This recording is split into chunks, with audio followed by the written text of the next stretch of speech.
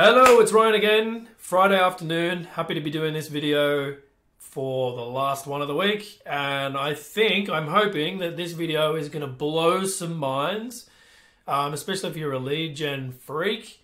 Um, and look, who doesn't need more leads in their life, right?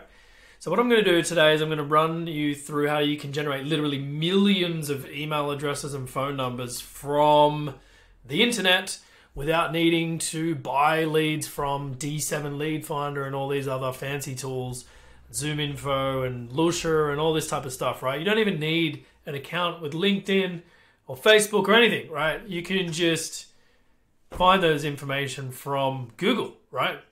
because Google is the biggest scraper in the world. So, if you don't know about a technique called Google dorking, make sure you do some research and educate yourself on Google dorking, right? Because the power of Google dorking is immense. You just got to know how to put it all together. So, let me show you how to do it. So, Google dorking is, you know, so when we do something in Google search, we can do something like this. So we basically parameterize a search, right? So we're saying um, go only to the site LinkedIn and find all of the people who have a job title software engineer from California who have an email that isn't containing the string of characters Gmail, Yahoo, blah, blah, blah. So essentially a business email. Now, if we click search and enter, great. Um, here we go, right? Software engineer, Thomas Wang, Sean, you know, they're all there, right? Now, you might not always be able to see it directly in the search results, but I'm getting lots of pages of results because all of those URLs and those LinkedIn profiles have been indexed by Google. So Google has all the information. So how to do this at scale, you ask. Cool, I'm here to show you that, right? So I use a tool called TexAu, if you haven't used that before, similar to Phantom Buster. I think it's better. There's a bunch of reasons why I think it's better, but there are differences between the two tools, right? One, it's cheaper.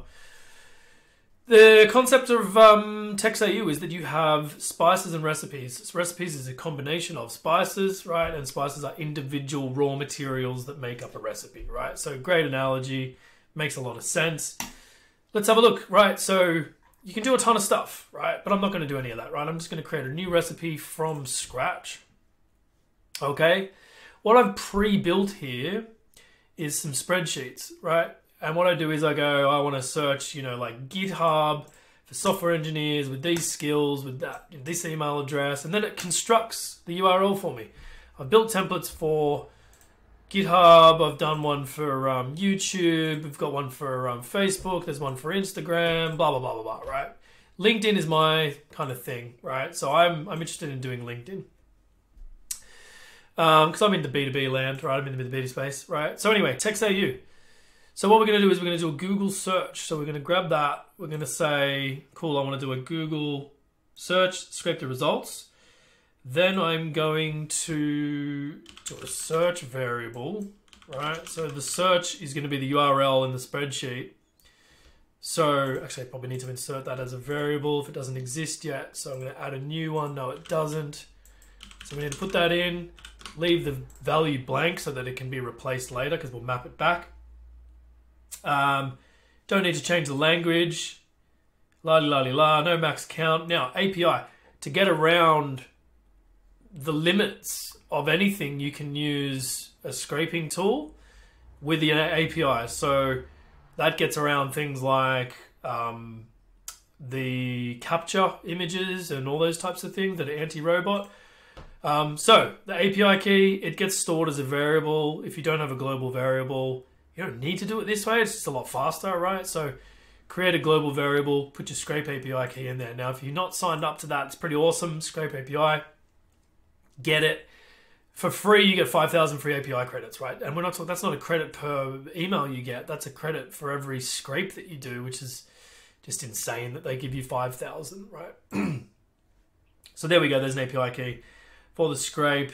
And then we're going to say, okay, well, where's the sheet for this? Now I'm going to give it this Google Sheet. As you can see down the bottom, I've got a number of tabs. They do different things. So this is a LinkedIn email and phone search.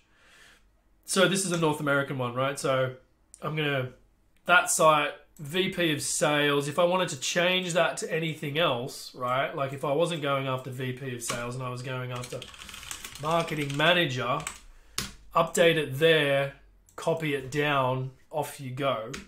Right? I'll just keep with VP of sales for now for this thing. Email, I'm going to say give me all of the business email addresses, right? So it's constructing the search that I want to do. The city is the only thing that's really changing for each of these searches here. Okay. Happy days. Most of the city's covered off. That's just an example. So make sure that it's publicly shared. Anyone with the link can edit. Great, cool. Don't need to copy that link because it's a tab specific. I need to grab it from the URL. Go back to TexAu here. Paste it in.